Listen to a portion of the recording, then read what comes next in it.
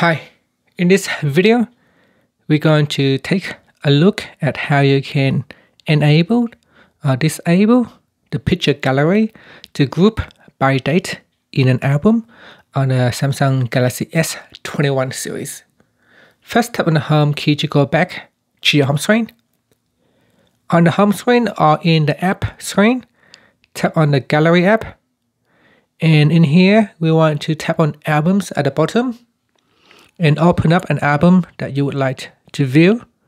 Next, tap on the More button at the top.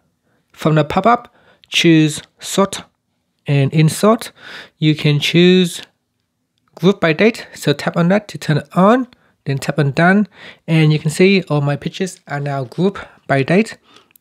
So at the top, I got June the 2nd, six photo, six photos. And if I go down May the 26th, I have quite a few uh, pictures in here. And on the May 25th, I got two photos.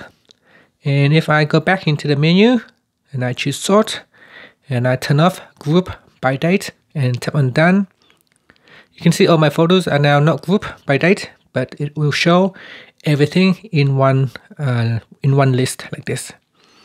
And that's it. Finally, you can tap on the home key to go back to the home screen. Thank you for watching this video. Please subscribe to my channel for more videos.